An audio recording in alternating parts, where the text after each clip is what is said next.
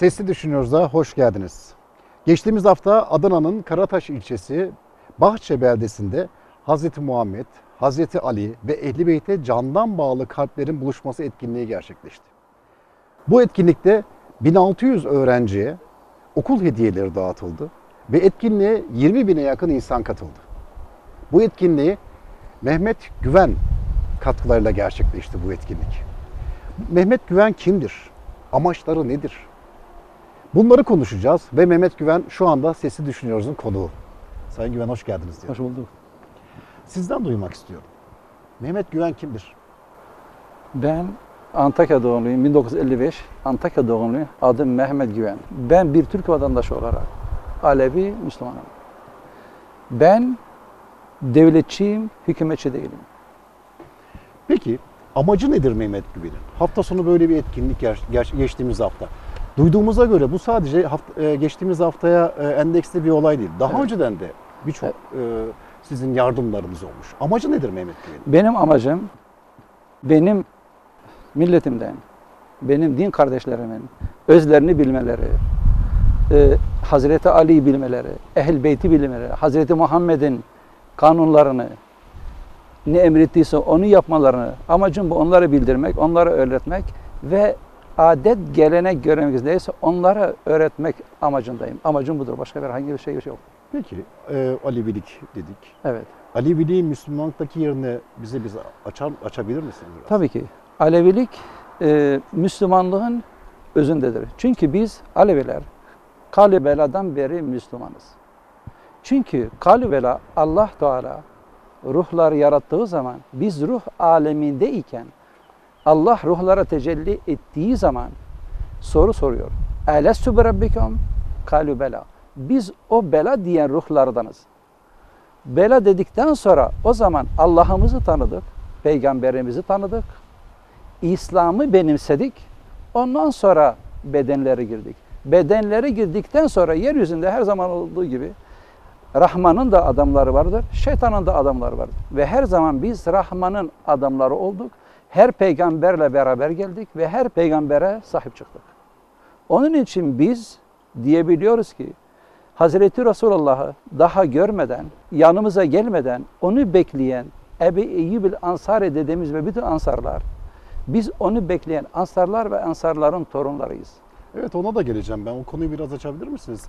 Siz e, ben burada not da almıştım. Adana'daki etkinlikte e, Hz. Muhammed'in hicreti zamanında onu bekleyen ve karşı, karşılayan ensarlardan olduğunu söylemiştiniz. Evet. Bu konuyu biraz açabilir misiniz? Şimdi bakın Hazreti İsa gökyüzüne çekilmeden önce bize tavsiye etmesidir. Çünkü e, şey kitaplara sorduğumuz zaman der ki mil ansarla İsa ben Meryem kalul havariyun nihna havariler biz dedi. Biz de havarilerin torunu ansarlarız.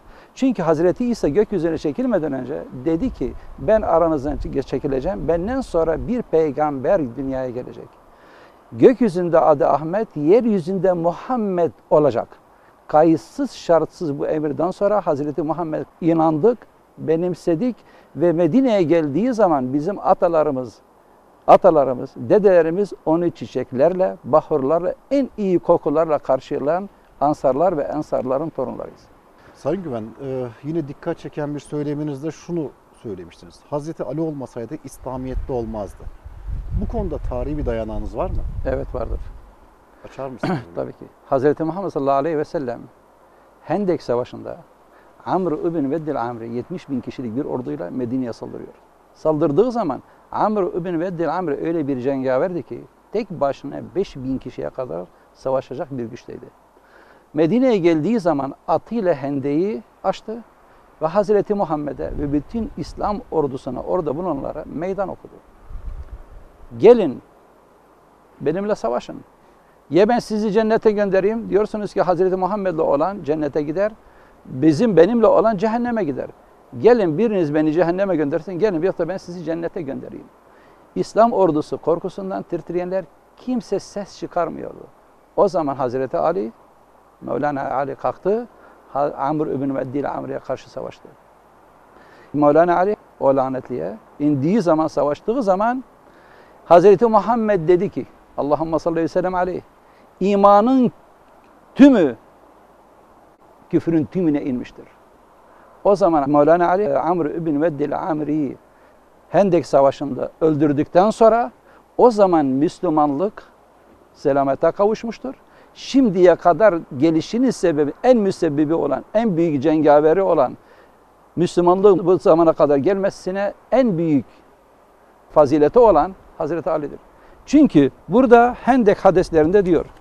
Hazreti Resulullah dedi ki, bakın. Hendek gününde Amr ibn Veddil Amr'e Hazreti Ali'nin darbesi ümmetimin kıyamet gününe kadar olan ibadetinden daha faziletlidir. Kaynak Yenabi el Müvedde sayfa 137. Onun için Hazreti Ali olmazsaydı İslam olunmazdı. Bütün İslam alemi Mevlana Ali'ye borçludur. Bu da Hazreti Resulullah Yenabi el Müveddi kitabında sayfa 137. İkinci ne diyor? Hazreti Ali Hendek Savaşı'nda Amru'yla savaşmaya indiği zaman Hazreti Resulullah Ali hakkında şöyle buyurmuştur. İmanın tümü şirkin tümüne inmiştir. Kaynak Yenebi el Müveddi sayfa 94. Bunu herkes okuyabilir. Herkes söyleyebilir. Ben ne söylediğimi çok iyi farkındayım. Hazreti Ali olmasaydı İslam olunmazdı. Biz de her zaman için Hazreti Ali ile tabi olduk. Hazreti Muhammed'e sadık kaldık. Kur'an'a sadık kaldık. Ehl beytine de sadık kaldık. Biz Hazreti Muhammed ne dediyse biz onları yaptık. Bir de soruyorlar ki Aleviler İslam'ın neresindedir? Artık bu soruya gerek var mı?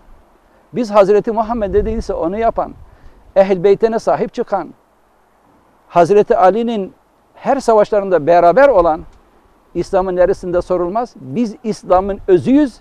Eğer deniz bir İslam ise biz onun kaynağıyız. Eğer gökyüzü İslam ise biz onun direkleriyiz. Eğer bir ağaç İslam ise biz onun köküyüz. İslam'ı koruyan Alevilerdir. Bütün yeryüzündeki Aleviler bu benimse de bunları yapmışlardır ve bunu yapmaya da devam edeceğiz. Bizim canımız, ruhumuz ve de bütün Alevi milleti Hazreti Ali'ye, Hazreti Muhammed'e, Fatıma Zahra anamıza, Hasan ve Hüseyin'e ölümüne biz sahip çıktık ve sahip çıkmaya da devam edeceğiz. Peki sizin Anadolu Alevileriyle ortak yanlarınız neler? Anadolu Aleviler herhangi bir farkımız yoktur. Onlar da Aleviler, biz de Aleviyiz. Ee, bizim, onlar da bizim kardeşlerimiz, biz de onların kardeşleriyiz. Biz yeryüzünde bütün Aleviler hepsi Hazreti Ali'nin velayetinde ve Kur'an-ı Kerim'de ve Hazreti Muhammed'in ve Ehl Beyt'in abası altında toplanan bütün Aleviler burada toplanır. Belki aramızda şey olabilir, e, ibadet şekilleri olabilir. Çünkü tarihlerde herkes bunu bilir. E, Emeviler zamanında, Abbasiler deme zamanında bir sürü katliamlar, Aleviler katliam gördü, kesilmişlerdir, kovulmuşlardır.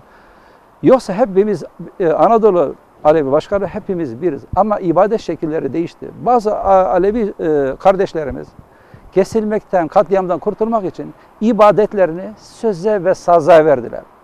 Aleviler e, baskın yapıldıkları zaman gördülerdi, bakarlardı ki bu adamlar oynuyor, bu adamlar şarkı söylüyor. Ha, o zaman bırakırlardı. Kendilerini korumak için e, ibadetlerini saza ve söze verdiler. Onlar bizim kardeşlerimizdir. Fark yoktur. Sadece olabilir belki ibadet şekilleri başka bir şey değildir. Önümüz, geçtiğimiz hafta e, ben de oradaydım. Evet. E, Bahçe'deki etkinliklerde. Evet. Fakat benim e, öğrenmek istediğim sizin Alevi toplumunuza, toplumuna e, bu tip hizmetleri ne zaman başladı? Ne zamandan beri Ben bu yardımları yapıyorsunuz? bu yardımları ben 1955 doğumluyum. Ben 50 yıldan beri 48-50 yıl arası ben bu hizmetleri yapıyorum. Ziyaretleri boy arıyorum. Ziyaretleri onarıyorum. Kutsal mekanları e, e, onarını yapıyorum. O zamandan beri de mül- bütün insanlara doğru yolu göstermeye çalışıyorum. Ehl Beyt budur, Hazreti Ali budur, e, Kur'an budur. Bunları öğretiyor. Hep bu amaçla bu e, işi yap, yaptım ve daha yapmaya da devam ediyorum. Peki Sayın Güven, siz iddia edildiği gibi Alevi toplumunu ayrıştırıyor musunuz yoksa birleştiriyor musunuz? Estağfurullah. Bu deyişleri söyleyen ben ayrıştırıcı değilim. Ben birleştiriciyim. Ben milletime, çocuklara, büyük küçüklere sahip çıkmaya çalışıyorum.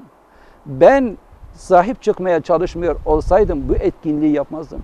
Binlerce çocuk okutuyoruz. Burs veriyoruz. Gençler yetiştiriyoruz. Ben ayrıştırıcı olmuş olsaydım ben bunu yapmazdım. Ben birleştiriciyim, ben milletimi severim, ben Aleviyim ve Alevi toplumda olduğum için Alevimle de iftihar ediyorum. Sizi e, toplum, Alevi toplum bir önderi olarak tanıdık. Geçtiğimiz haftalarda e, zaten yaptığınız faaliyetlerde bunu gösterdiniz. Fa- Fakat merak edilen bir şey var. E, Alevi toplumunda önder olmak için yani ille de şeyh olmaya gerek var mı? Estağfurullah. Bakın Hazreti Ali Zeynel Abidin Allahümme sallallahu aleyhi ve sellem ne diyor? Diyor ki ey insanoğlu ben falan falan oğluyum demeyinle gelme. Sen ne yaptın sen onu bana söyle. Onun için Arapça let atuni bi ensabikum atuni bi ef'alikum. İnsanın annesi babası onu göstermez. Onu fiili gösterir. Ben ne önderlik peşindeyim ne liderlik peşindeyim. Eğer bu işleri bir Alevi milletine sahip çıkacak, gençlerimize ışık olacak, çocuklarımızı eğitecek kim olursa olsun bir önder gelsin, ben o önderin arkasında yürümeye de hazırım. Ben liderlik, önderlik peşinde koşan değilim. Ben milletimi seven, milletime sahip çıkan, Alevi dediğin zaman nerede olursa olsun o benim kardeşimdir. Elimden gelen iyiliği de yapmaya hazırım. Benim görüşüm, benim işim budur. Sayın Güven, Hatay'da ve Adana'da yıllarca e, düzenlediğiniz Kur'an ve Ehl-i Beyt kursları var. Evet. Bu kursların amacı nedir? Ve bu kurslarda e, şu ana kadar kaç çocuk faydalandı? Şimdi binlerce çocuk, sayısız çocuk faydalanmıştır. Biz bu kursları veriyorsak çocuklarımızı Hazreti Ali'ye, Mevlana Ali'ye, Hazreti Muhammed'e ve Ehl-i Beyt'e bağlı olmaları için, onlara sadık kalmaları için bu çocukları biz yetiştiriyoruz. Adet geleneği gelenekleri ise Hazreti Muhammed ne emrettiyse çocuklarımıza veriyor, öğretiyor ve böyle yetiştiriyoruz. Hazreti Muhammed'e ve Ehl-i Beyt'e bağlı kalmaları için. Peki e, yayınladığınız bir kitap var. Bu kitapla ilgili de bilgi verebilir misiniz? Tabii ki ben bu kitabı Hazreti Muhammed'in, Hazreti Ali'nin ve Ehl Beyt'in hadisleri var. Hepsi bu sünni kaynaklıdır. Çünkü Alevi kaynağına getirmiş olsaydık icamda inanmayacaklar. Hepsi sünni kaynaklıdır.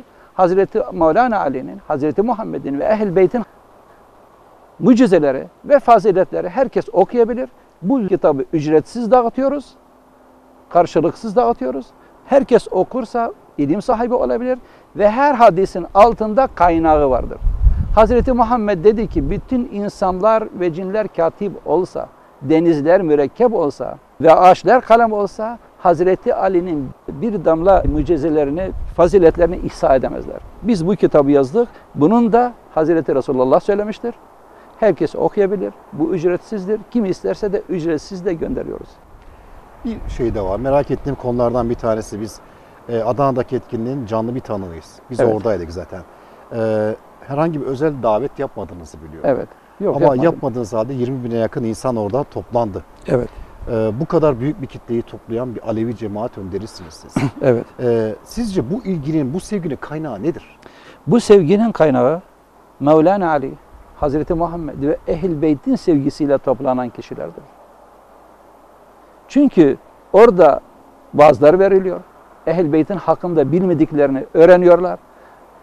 Bu insanları bu sevgi Hazreti Ali'nin kalplerinde yaşayan Mevlana Ali'nin sevgisiyle, Ehl Beyt'in sevgisiyle oraya gelmişlerdir. Peki bazı kesimlerin iddia ettiği gibi e, Mehmet Güven sevenlerine siyasi bir yön veriyor mu?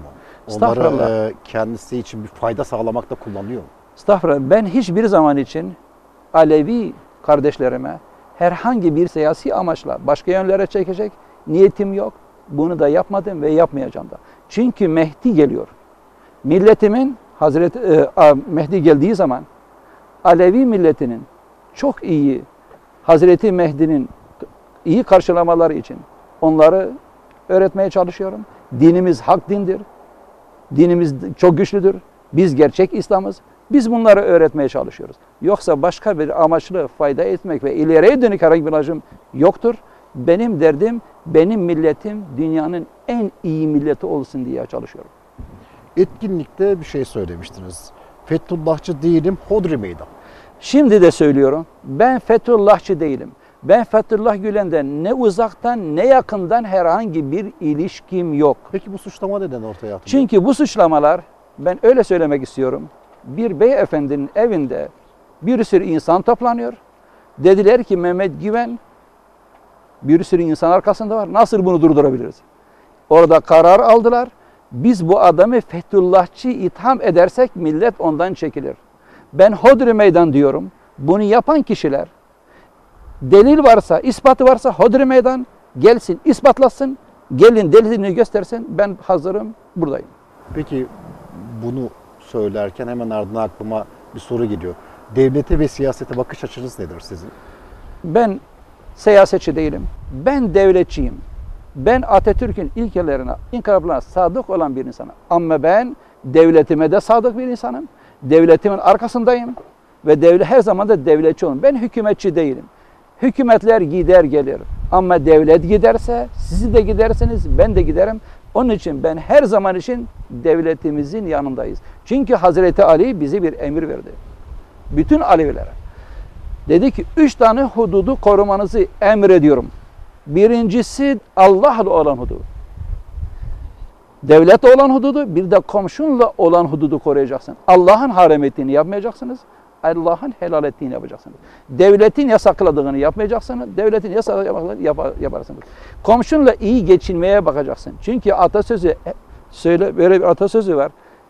Hangi padişahın ekmeğini yiyorsan onun kılıcını sallamak mecburiyetindesin.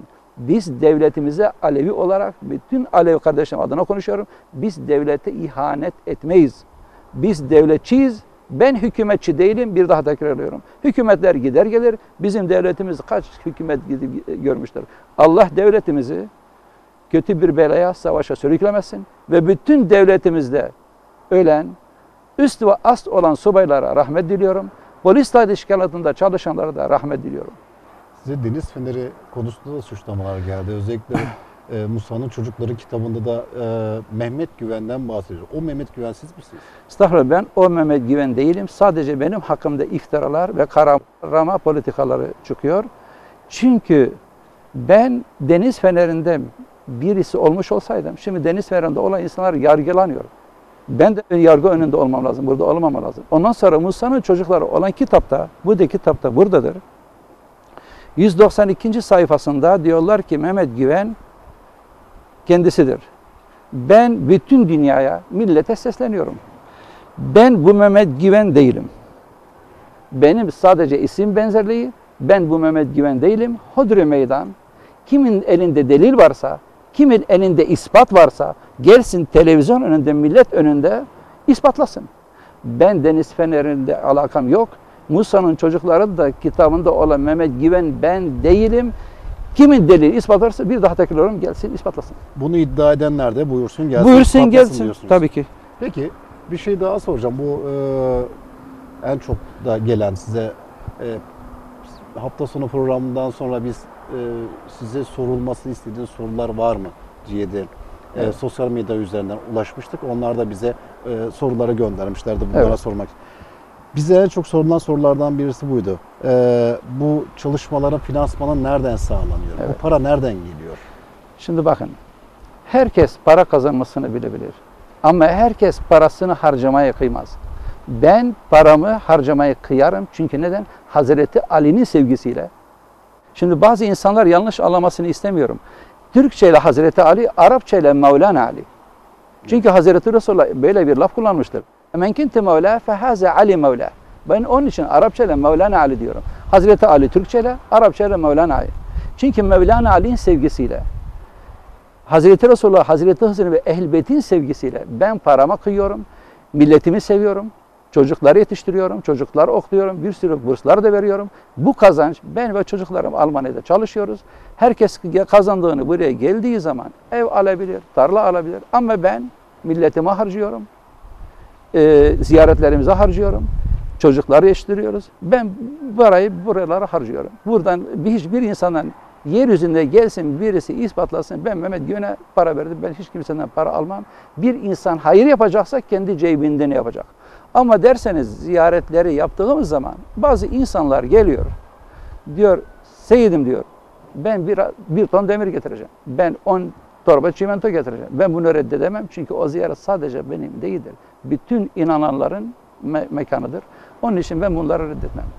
Öyle Zaten. Siz bir yandan da insanlığa hizmet için kendi paranızı harcarken insanlar da yine insanlığa hizmet için o e, paylaşımda bulunuyorsunuz. Tabii ki. İnsanlardan para topladınız ve hatta Amerika'ya gidip para aldığınız bile iddia ediliyor. Bu konuda ne söylemek Ben istiyorsunuz? hiç bir kimseden para toplamadan Hodri meydan gelsin birisi bana desin ben Mehmet Güven'e para verdim. Bu yalandır. Bu benim üzerime atılan bir iftiradır. İkincisi ben Amerika'ya gidiyorum. Orada çok sevdiğim akrabalarım İzzet Çetin ve Esmihan Çetinler ailesi olarak çok sevdiğim akrabalarım bir de Cemil Habiboğlu amcam var orada.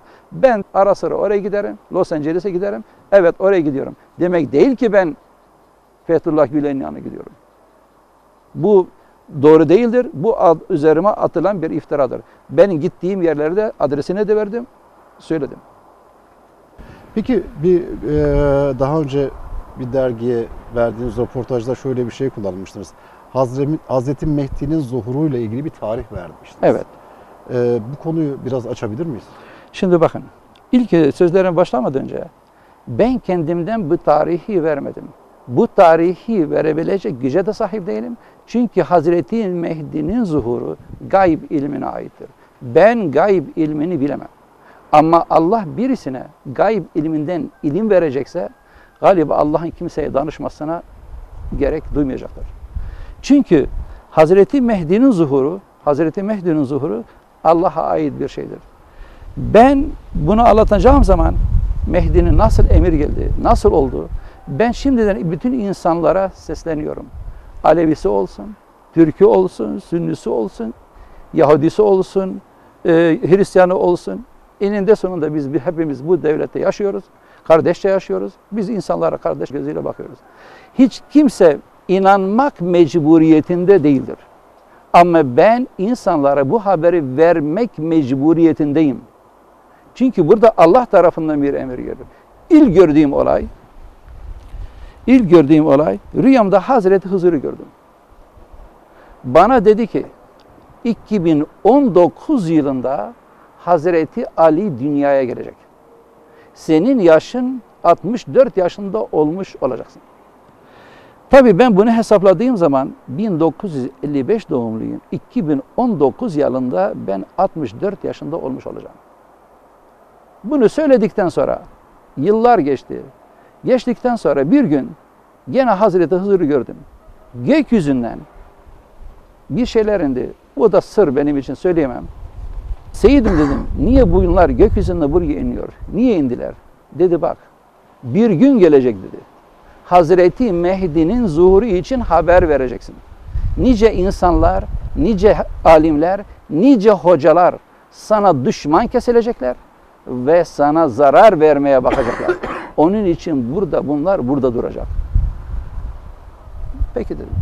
Ondan sonra bir aylar geçtikten sonra bizim Antakya Saint Pierre Kilisesi üzerinde şimdiye kadar çam ağaçları duruyor. Kendimi orada gördüm. Gece karanlık kendimi orada gördüm. Gördüğüm zaman bir baktım ki gökyüzü yarıldı. Gökyüzü yarılıyor. Baktım ki havada beş kişi geliyor. Beş kişi geliyor. Yere indikleri zaman yanıma yani indiler. Birbirinden ayrıldılar. İki kişi bir tarafa, üç kişi bir tarafa. İki kişi ayrılanlar bordo elbise giymişler. Bordo e, şeyleri, şaşları var. Yani e, sargıları var. Bordo sargıları var. Üç kişi ayrılan askeri resmi elbise giymişler. O zaman ses geliyor yukarı. Ses duydum. Dedi bak bu iki kişi duran yan yana birisi Hazreti İsa, birisi Hazreti Mehdi. Üç kişi ben de kendimi bu üç kişinin yanında gördüm. Kimse yanlış anlamasın. Ben kendimi Hazreti Cebrail İsrafil safında tutmuyorum. Ama ben gördüğümü söylüyorum. Bu sefer iki kişiye dört kişiye karşı karşı geldik. Dedi bak birinci asker dedi bu Hazreti Cebrail, ikincisi Mikail, üçüncüsü İsrafil diye bana öyle seslendiler. Burada konuşan sadece Hazreti İsa. Emir verdi bu dört kişiye. Dedi gidin. Yani Arapça ilim dine, Türkçe ile şehre gidin. Nida, nida yapın. Millete söyleyin. 2019 yılında Mehdi zuhur edecek. Kim kötü yola gitmişse geri dönsün onun için bir kardır. Burada emri verince bu dört kişi biz önlerinden ayrıldık, gözlerinden kayboldular ama ben Hazreti Cebrail, Mikail, İsrafil Antakya'ya yönlendik bu haberi vermek için. Ben de bu haberi vermek mecburiyetindeyim. Ama insanlar mec- inanmak mecburiyetinde değiller. Yarın Mehdi geldiği zaman da duymadım diyemezler. Bütün şimdi duysun, bütün dünya duysun, bütün insanlar duysun. Bu emir böyle geldi. Ben de bu emri yayacağım. Bu söyleyişi söyleyeceğim. İnanar, inar, inanmaz kendisi bilir. Ben haber getirmişim. Ben Mehdi'den haber getirmişim. İnsan inanır, inanmaz kendisi bilir. Evet habercilikten bahsettiniz. Evet. Yani siz habercisiniz bir anlamda. Bunu haber veren kişisiniz yani. Ben öyle diyebilirim. ben Mehdi'nin habercisiyim.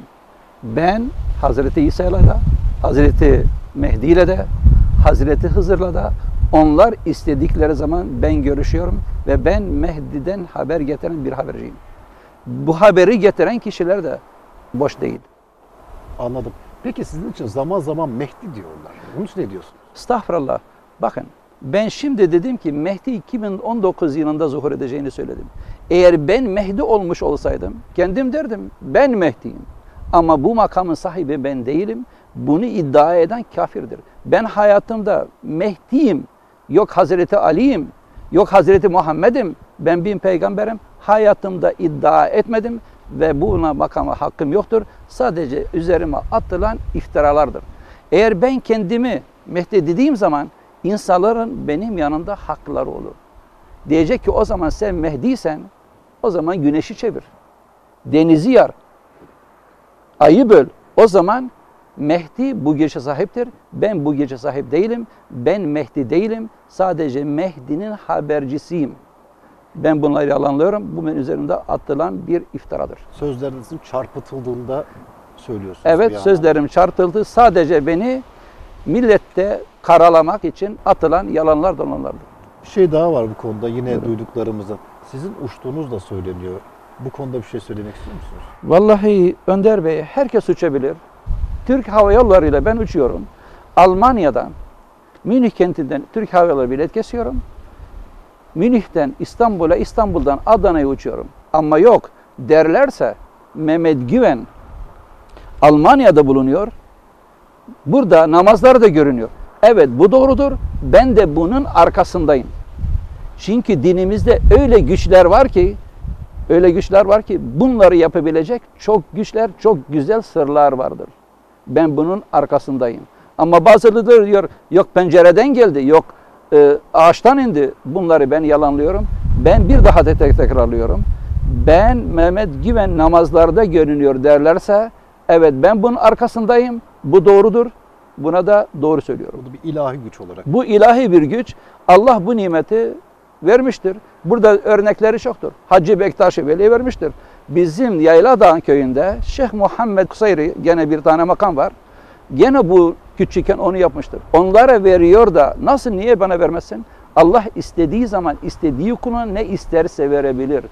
Çünkü Allah ya'til hikmi lemen yeşâh min ibadi. İsterse Allah istediğini hikmeti verir. İstediğini yapar. Allah vereceği zaman kimseye de danışmaz, kimseye de sormaz. Peki bu muta, muta nikahı konusunda ne düşünüyorsunuz? Ben kendi adıma söylüyorum. Ali biz mutayı kabul etmeyiz. Çünkü muta bir insanın e, e, kızı veyahut da kız kardeşi dul kaldı. Muta.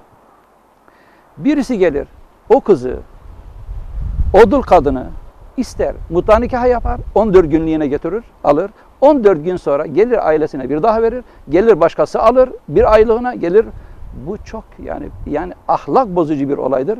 Bizde de burada Hazreti Cafer Sadık'ın burada kitaplarda muta için biz ona tabiiz.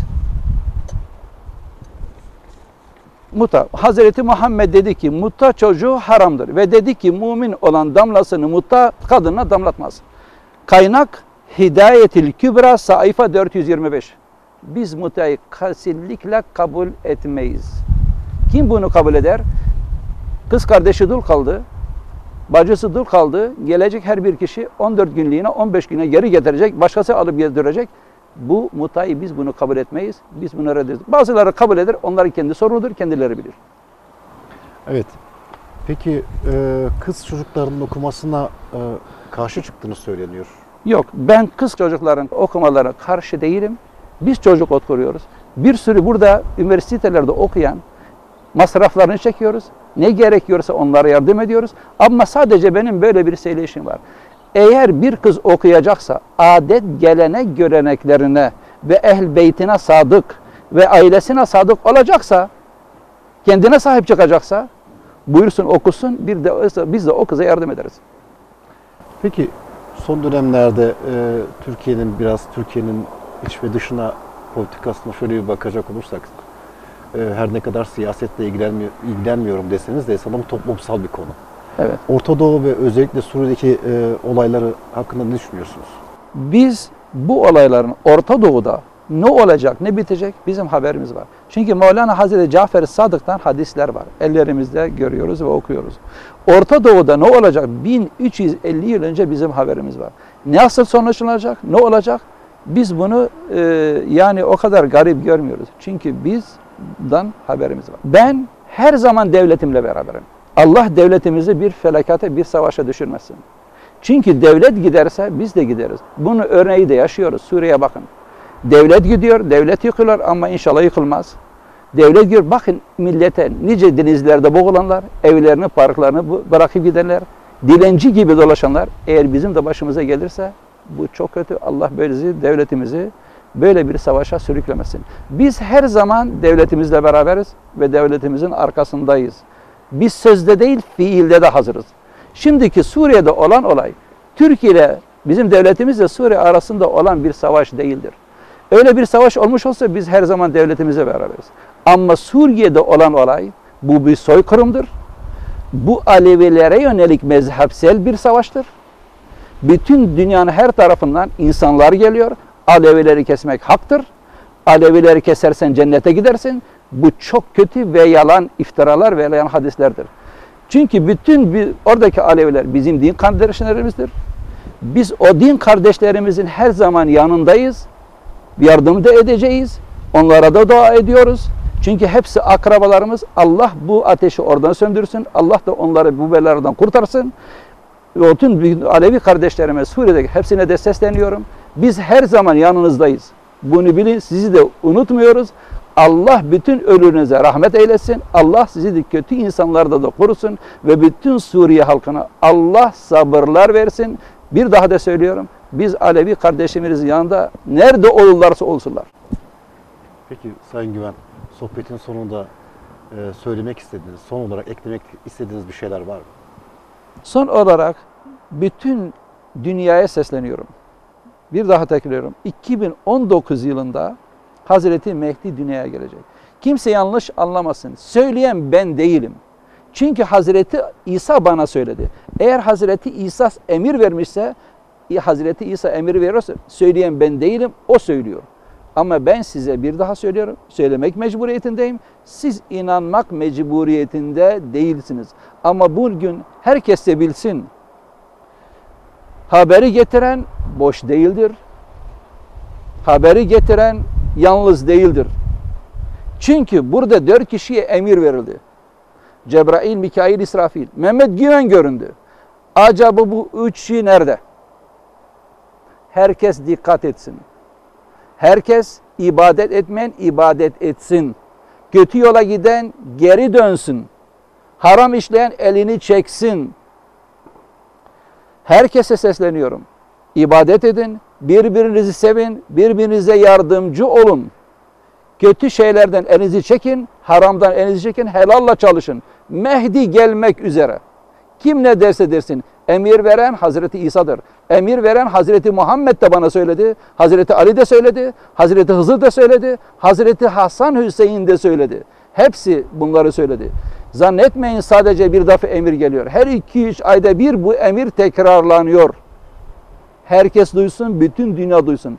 Ama Mehdi geldiği zaman her şey bitmeyecek. Hayat devam edecek. Ama düzen değişecek. Zalim kalmayacak. Zulüm gidecek. E, adalet gelecek. Dinsizler gidecek. dinliler kalacak. Bunu herkes bilsin. Hayat devam edecek ama düzen değişecek. Dünya bütün her taraf İslam olacak. Kim ne derse desin. Ben onlarla görüşen benim.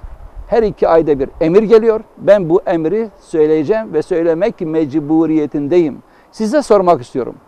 Acaba siz Hazreti Hızır'ı, Hazreti Muhammed'i ve Hazreti İsa'yı sallallahu aleyhi ve sellem görseniz, derlerse size böyle emir veriyorum, bunu yapacaksınız derse ne dersiniz? Onu söylersiniz. tabii. Söylersiniz.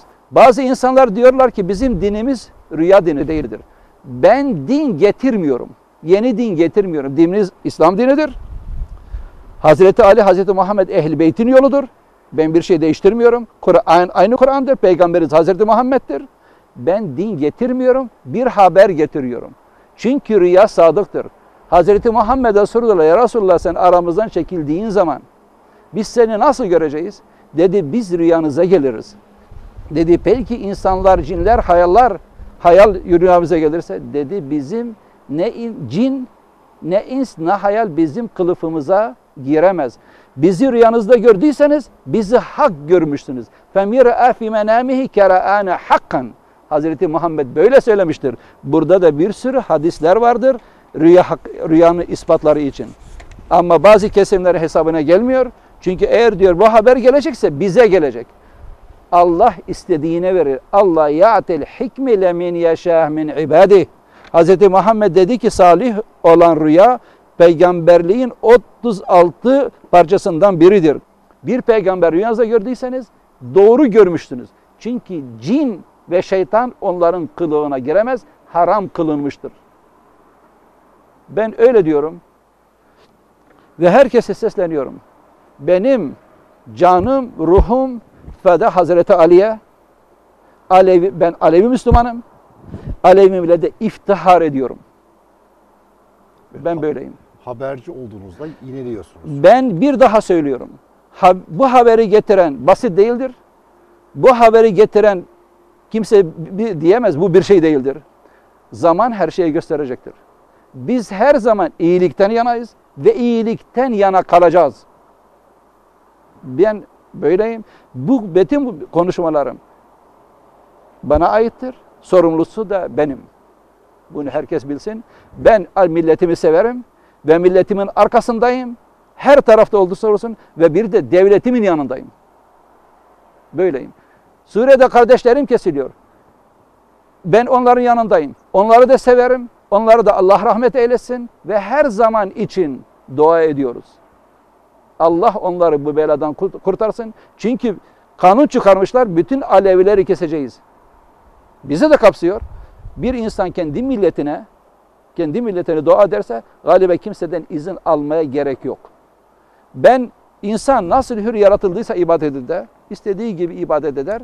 Kimseden izin almaya gerek yok. Ne devletten ne devletin erkanlarından. İbadet Allah'la kul arasında olan bir olaydır. Ama devlette bu devlette yaşıyorsan, kanunlara uymazsan o zaman devlet de devlet erkanlarından sorumludur. Benim görüşüm, değişim budur. Ben buradayım.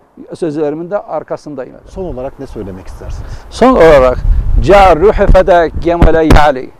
Ana ebed mutgar fedak. Çok teşekkür ederim Sayın Güven. Ee, sorularımıza açıklıkla, netlikle ve samimiyetle cevap verdiğiniz için. Ben de teşekkür ederim. Hoş geldiniz. Sağ olun. Evet, Sesli Düşünüyoruz da Alevi Cemaat Önderi Mehmet Güven'le birlikteydik ve sorularımıza e, kendisi sıcaklığıyla, samimiyetiyle cevaplarını verdi. Yeni bir Sesli Düşünüyoruz'da görüşmek üzere.